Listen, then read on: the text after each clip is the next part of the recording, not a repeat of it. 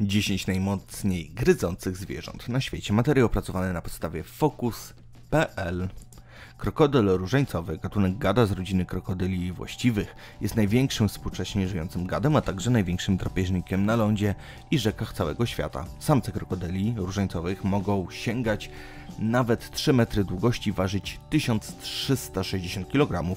Typowe rozmiary dorosłych samców mieszczą się w przedziale między 4 a 5 metrów długości i 400 tysięcy kg wagi, ale zdarzają się również okazy o większych rozmiarach. Samice są o wiele mniejsze i zazwyczaj nie przekraczają 3 metrów długości. Krokodyle te mogą żyć w słonej wodzie, lecz najczęściej można je spotkać w lasach namożnowych, deltach rzek, lagunach i dolnych odcinkach rzek. Posiadają największy zasięg siedliskowy spośród wszystkich żyjących krokodyli, rozciągający się od wschodniego wybrzeża Indii przez większą część Azji Południowo-Wschodniej do północnej Australii. Krokodyl różańcowy jest groźnym hipermięsożercą, ostatecznym konsumentem polującym zasadzki. Jest w stanie zaatakować niemal każde zwierzę wkraczające na jego terytorium, wliczając ryby, skorupiaki, gady, ptaki, ssaki oraz inne drapieżniki, takie jak rekiny i ludzie. Z powodu swych rozmiarów i rozmieszczenia krokodyle różańcowe są najgroźniejszymi krokodylowatymi dla ludzi. Nacisk jego szczęk mierzył dr Gregory Erickson, anatom ze Stanowego Uniwersytetu Florydy. Przez 10 lat badał wszystkie 23 żyjące na Ziemi gatunki krokodyli. Rekordowy nacisk rzędu 260 kg na centymetr kwadratowy należał do ponad 5-metrowego osobnika i przeważał inne słynne drapieżniki Ameryki aligatory.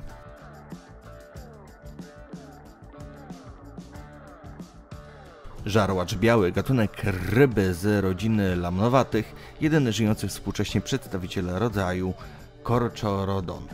Blisko spokrewniony z wymarłym megalodonem, jednym z największych rekinów drapieżnych, poławiany komercyjnie i sportowo, gatunek bardzo agresywny, potencjalnie niebezpieczny dla człowieka. W 2008 roku Steve Rowe użył komputerowego modelowania na podstawie rentgenowskich zdjęć czaszek rekinów do wyliczenia nacisku szczęk żarłasza białego. Efekty obliczeń nie zostały zweryfikowane testami.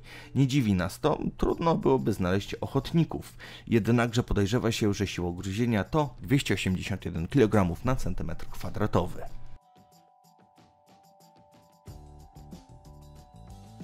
Hipopotam. Rodzaj obejmuje jeden współcześnie występujący gatunek w Afryce. Długość ciała takiego zwierzęcia to nawet 355 cm, zaś wysokość w kłębie to 165 cm. Hipopotam potrafi ważyć 4,5 tysiąca kg. Paszcza hipopotama potrafi rozdziawić się na 180 stopni. Do tego ma potężne kły dolne, dorastające nawet do 50 cm długości. Najprawdopodobniej hipopotam jest najpotężniejszym pod względem ugryzienia wegetarianinem na naszej planecie. Szczęki służą mu do obrony. To terytorialne zwierzę, które nierzadko bywa agresywne. Często musi bronić stad i siedlisk przed krokodylami. Naukowcom udało się zmierzyć tylko nacisk szczęk samicy. Samce okazały się zbyt agresywne do współpracy. Siła ugryzienia to 126 kg na centymetr kwadratowy, jednakże samce gryzą prawdopodobnie mocniej.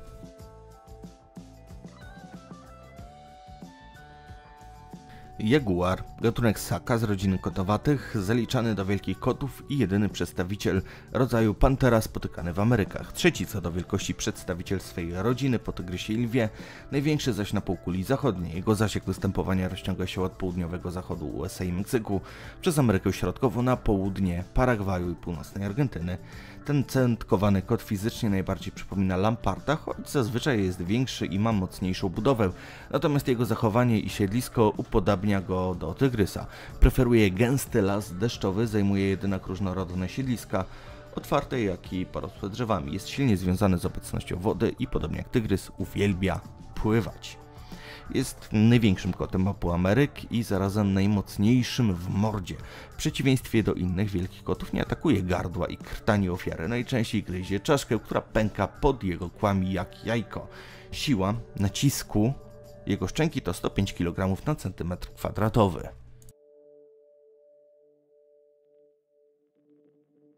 Goryl, rodzaj największych spośród współcześnie żyjących małp naczelnych, zliczany do człowiekowatych. Preferuje naziemny tryb życia, jest zwierzęciem roślinożernym, zamieszkuje lasy tropikalne w Afryce.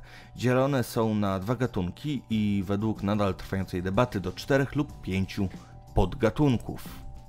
O sile paszczy tego zwierzęcia świadczą nie tyle zęby, a potężne mięśnie szyi, karku i szczęk. To roślinożercy, ale zdarza im się pożerać twardsze kąski, jak choćby koreł czy twarde orzechy. Siła nacisku goryla to 91 kg na centymetr kwadratowy. Zastanawia Was, czemu czasami te liczby są mniejsze na wyższych miejscach? Otóż brane są też pod uwagę rozmiary szczęki oraz uzębienie.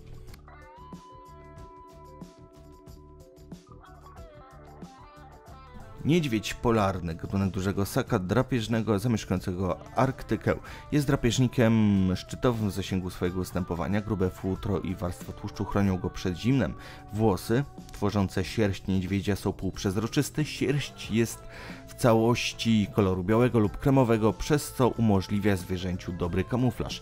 Skóra ma barwę czarną. Niedźwiedź polarny ma krótki ogon i małe uszy, co pomaga mu redukować utratę ciepła. Stosunkowo mała głowa i długie, zwężające się ku dołowi ciało pozwalają mu swobodnie pływać. Jest ssakiem prowadzącym niemal morski tryb życia, potrzebującym do przetrwania jedynie kawałka pływającego lodu i żywności znajdującej się w wodzie oraz miejsca do urodzenia i odchowania młodych.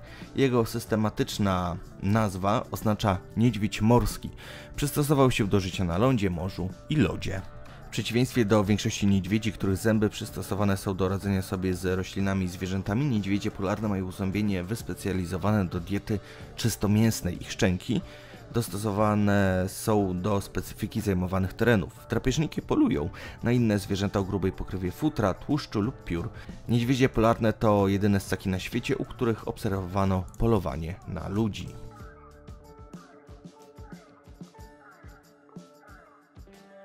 Hienowate, rodzina dużych ssaków drapieżnych z podrzędu kotokształtnych w rzędzie drapieżnych. Obecny zasięg występowania przedstawicieli tej rodziny obejmuje tereny Afryki na południe od Sahary, Półwysep Arabski, Azję Mniejszą, Pakistan i inne. Jeszcze w Pleistocenie zasiedlały całą Europę z wyspami brytyjskimi włącznie oraz Azję wraz z południowymi rejonami Syberii. Jeden gatunek hien zasiedlił również Amerykę Północną. Po obejrzeniu Króla Lwa czy innych przedstawień w popkulturze można tych zwierząt nie brać na poważnie, ale gdy weźmiemy pod uwagę ich ugryzienie wcale nie będzie już tak bardzo do śmiechu. Zęby i szczęki tych zwierząt przystosowane są do gryzienia i miażdżenia kości, a potem potężne mięśnie szczęki i wyjątkowa budowa czaszki pozwala im być wyjątkowym gatunkiem, idealnie przystosowanym do padlinożerstwa.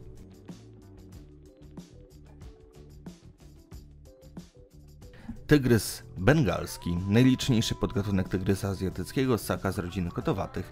Trzecim tak dużym kotem, oprócz tygrysa bengalskiego i syberyjskiego, był żyjący jeszcze w latach 60. XX wieku tygrys kaspijski. Wszystkie trzy wymienione tygrysy zaliczane są do największych kotowatych, jakie kiedykolwiek istniały. Tygrys bengalski jest narodowym zwierzęciem Bangladeszu. Przepiękny drapieżnik szczyci się najdłuższymi kłami wśród kotów. Dorastają do 10 cm i zostawiają w tyle nawet lwy. Król dżungli może być tylko jeden.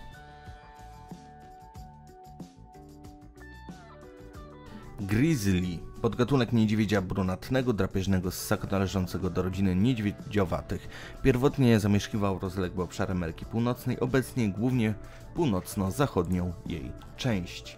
Siła, agresja i wojowniczość tego zwierzęcia obrosły w legendy. Wystarczy przytoczyć fakt, że za pomocą jednego zdecydowanego ataku potężną łapą z ostrymi pazurami jest w stanie odciąć głowę łosia. Może jednak być także dumny ze swoich szczęk, wedle wyliczeń naukowców mógłby zmiażdżyć nimi na przykład kulę do kręgli.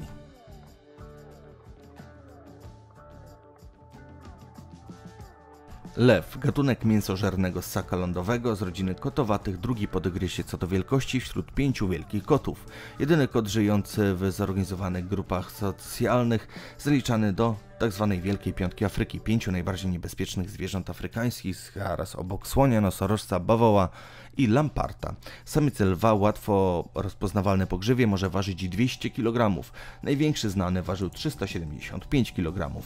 Może w porównaniu do rekina czy krokodyla nie jest tak wielki, ale i tak wcale nie mielibyście ochoty przekonać się o jego sile. Zęby i szczękowe mięśnie tego zwierzęcia dostosowane są do roli łowcy na szczycie łańcucha pokarmowego. Są silniejsze niż choćby mastifa angielskiego. Żeby pokazać skalę, dorzućmy do tego na koniec człowieka. Gryząc kanapkę średnią uzyskujemy siłę 11 kg na centymetr kwadratowy. Lew bez problemu przegryzie kość ludzką. Dzięki za obejrzenie do końca. Mam nadzieję, że ten odcinek Wam się podobał. Dajcie znać w komentarzu, o czym chcecie kolejną dyszkę i zapraszam Was na moje dwa pozostałe kanały, a to ciekawe oraz światowa historia. Trzymajcie się, cześć!